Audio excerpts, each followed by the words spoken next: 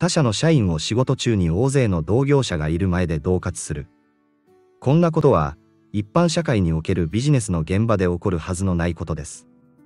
ところが、過去にこのような異常なことが平然と行われていた現場が存在しました。どこの業界だ？と疑問に思う方が多いと思いますが、それが芸能界だと知ると、あっさりと納得される方もいらっしゃるのではないでしょうか。そしてその時に、ある年齢以上でテレビが好きな方は、この番組を思い出すのではないかと思います。島田紳介氏のオールスター感謝祭同喝事件です。この事件は、2009年10月、島田紳介さんが司会を務めていた、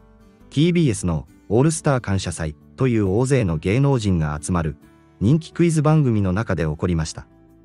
吉本興業所属の島田紳介さんは、他事務所所属のお笑いトリオの東京ゼロさんが、本番前に自分の楽屋に挨拶に来なかったことへの怒りが、収録が始まっても収まらず、番組の収録中に、東京ゼロさんのメンバーの胸ぐらを掴んで、お前ら舐めてんのかと恫喝したのです。そして、その恫喝している島田紳介さんの姿が画面に映り、全国にテレビ放映されてしまった事件です。そんな島田紳介さんですが、現在は暴力団との交際の噂が原因で、芸能界を引退しているのですが、最近、再びネットニュースで名前が挙がりました。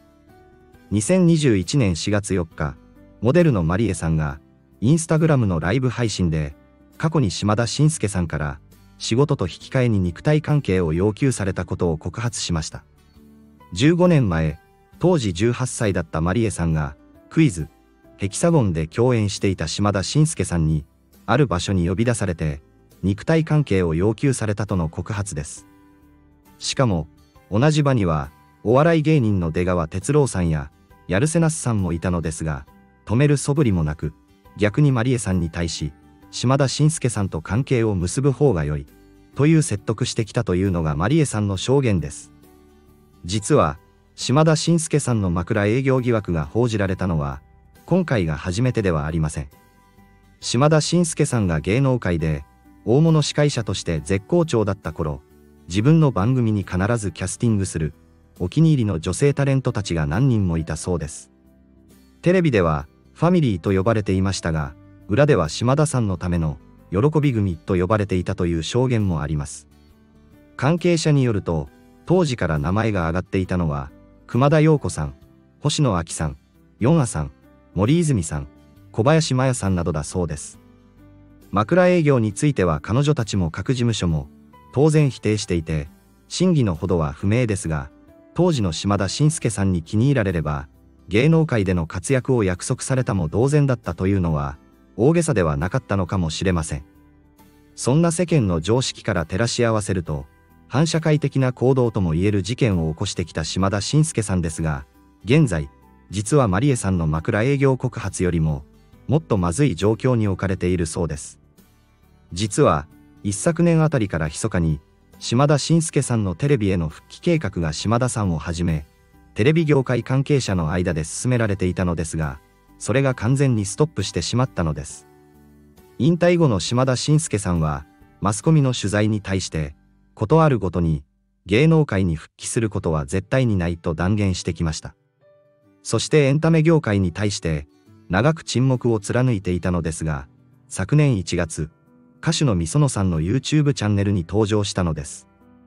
これには昔、自分の看番組に多数出演させて可愛がっていた、みそのさんの現在の窮地を救うために、一肌脱いだという見方が出ていましたが、今年は、闇営業問題が発端で、吉本興業に契約を切られた、雨上がり消したいの宮迫博之さんの動画にも電話出演しました。このネット番組ですら、姿を見せると大きな話題になるということは、テレビ番組に出演なら、さらにもっと大きな話題になるのは確実だと思われます。高い視聴率が欲しいテレビ局は、島田紳介さんに自局に出演してもらいたくて、復帰計画に参加して、準備を進めていたのです。ところが、突然、マリエさんが島田紳介さんの枕営業強要を告発したことで、復帰話は無期延期になったそうです。そして、マリエさんの告発と合わせて、復帰話が流れた一番の原因というのは、宮迫博之さんとのネット番組での共演だった、という見方がテレビ局上層部から出ています。宮迫博之さんは、反社のパーティーに参加して、100万円近くのギャラをもらっていたことを世間に隠して、吉本興業から契約を解除されています。新助さんの枕営業強要は、業界では見て見ぬふりをされていた感じがありましたが、反社との付き合いは完全アウトであるというのが昨今の風潮です。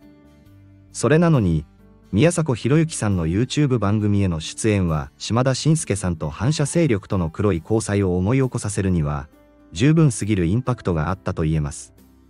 宮迫博之さんは動画の中では島田紳介さんの出演はアポなしの直撃という形をとっている風に装っていましたが最近の動画の中では宮迫博之さんはマスコミへの不信感を述べた際に実はアポイントは事前に取っていて突撃ではなかったと言っています。これは、テレビ復帰を目論む上で、クリーンなイメージを出したい島田紳介さんにとっては、反射勢力との交際が噂される、宮迫博之さんとの交流が頻繁にあったという見方がされて、大迷惑だったことでしょう。そして、コンプライアンスが厳しくなった現代の風潮によって、島田紳介さんのテレビ復帰計画が頓挫する致命傷になったそうです。皆さんはこのことについてどう思いますか？コメントを残してくれると嬉しいです。チャンネル登録、高評価もぜひお願いします。